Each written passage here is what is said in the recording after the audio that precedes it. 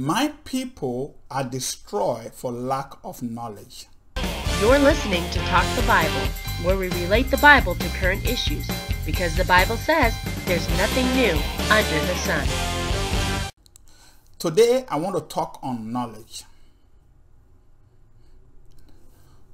God, in the book of Hosea, chapter 4, verse 6, through prophet Hosea, God spoke, saying, His people are destroyed for lack of knowledge. Chapter 6. My people, uh, verse 6, my people are destroyed from lack of knowledge. I'm reading from uh, NIV. NIV say from lack of knowledge. What was God saying? Was God saying that that there was no knowledge? Or was it talking about a particular knowledge? Who are God's people? And what is knowledge? There's this popular saying about knowledge that knowledge is power. Knowledge is power. So what God is saying is that his people are destroyed for lack of power. You know, when you gain knowledge, truly you gain power. The reason why you see people going to medical doctor for issue that they are facing, those who we call medical doctor, they are human beings like us. But we respect them, we go to them, we listen to them because they gain knowledge of what we are looking for. The same thing, the same thing goes to mechanic. You take your car to mechanic and they take advantage of you. If you don't have any clue about your your engine or your your your car, if you don't have a, a, some kind of a mechanical knowledge you don't. They will manipulate you. They will use you. That's how those who have knowledge of something have influence on you that doesn't have that knowledge. So those who have knowledge have power. So god is concerned about his people don't have power of certain thing because they lack the knowledge of that thing. So what is God talking about? God is talking about the knowledge of him. His people are destroyed for lack of the knowledge of him. Because we who call ourselves Christian, we are the people of God today. The reason why you don't see the influence of the word of God in our society today is because of us. Because we lack the knowledge of God. So because we lack the knowledge of God, the word of God is of no value to our society. If you live in the Western world, you will agree with me. Even if you don't live in the Western world, you still agree with me. I, I, I, it's somewhere like Africa or third world country when they want to be su successful or they want to succeed, they go to a black magic. They run away from God because they don't believe that God is capable of blessing them. So they do all kind of things because of the lack of the knowledge of God. And when you lack knowledge, you put yourself in a destruction. Lack of knowledge will destroy you. The reason why a lot of people are dying today is because of the lack of the knowledge of something. If you are a citizen of a country, if you don't have the knowledge of your right, you will be manipulated, you will be abused, or you can get killed because you lack the knowledge of your right. For example, I'm originally from Nigeria. Police can take your life, they can disgrace you. And in Nigeria, we bribe our way out. The reason why we do all these things because we don't understand our right. So we're trying to bribe our, our way out. We're trying to, to, to subject to whatever they take us through. because we don't know our right. So why am I saying this? This is what happened to you when you lack the knowledge of something that is very important to you. God is saying that we, as children, will lack the knowledge of him. And because we lack the knowledge of him, we are destroyed. And that is true. There are a lot of Christians, or so many Christians, that are destroying today because of the lack of the knowledge of God. And because we lack the knowledge of God, the word of God has no place in our life, has no value. We quote, we quote the word of God. But when we need help, the word of God is not where we go. A lot of us today in the Western world, we practice yoga, Christian, because we feel that the word of God is not capable. Or we don't really know the word of God. I think the thing is that we don't know the word of God because we don't know God. How many of us every day, including me, wake up and think about God and spend a little time with God? We can spend time reading book written by man about yoga, about different things, but we don't read the Bible because we lack the knowledge of God. And that brings destruction. Why? There's so many promises in the word of God. The Bible said the word of God is true.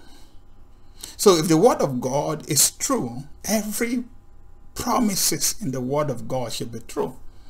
And if that is true, why is not manifested in our life? Is that because God is wrong or God is too old? No, it's because we lack the knowledge of God. People are dying out of ignorance. You know, there's this word that say ignorant of the law is not an excuse. And it is not an excuse. Some people say my pastor didn't teach me well. But you have the bible. Your greatest teacher is the holy spirit. You can't say you can't go tell the judge that i didn't know the law. You run speed and run through red light and say i'm sorry i didn't know. That is a crime. You will go to jail. You will suffer before you realize that you break the law. It's the same thing ignorant of the, the knowledge of God bring destruction to Christians. There's no difference between us and, and the people in the world today. Let me rephrase that. There's different. They are more successful than us. Even we're trying to emulate them. We're trying to copy them. We they, they are the ones teaching us yoga. We run after them. They promote the power of yoga because they have the knowledge of what they are talking about. The word of God doesn't have any place in our society today and that is true because of the lack of the knowledge of God. The Bible said the word of God is powerful, it's active and relevant in our society. It's, it's sharper than any double-edged sword and it go deep. It pierces into the heart the soul the marrow. The only things that can change and transform our life that can bring healing and deliverance and peace to us is the word of god. And is the, is the, is the word that we rejected. It said because you rejected knowledge. Because you have ignored the law of your God. And the Bible said the word of God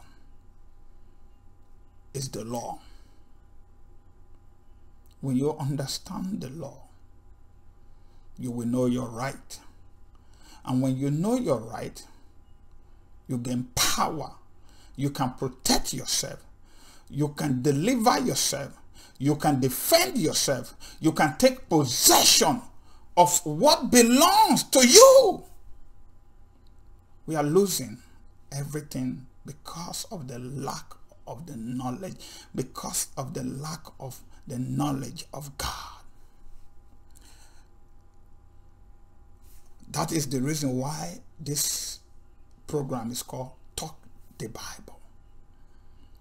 I'm taking this journey. If you want to be part of the journey, I ask you to subscribe follow share, Because the word of God need to manifest. There are so many promises that have been given to us through the word of God. Through the written word of God, which is the Bible.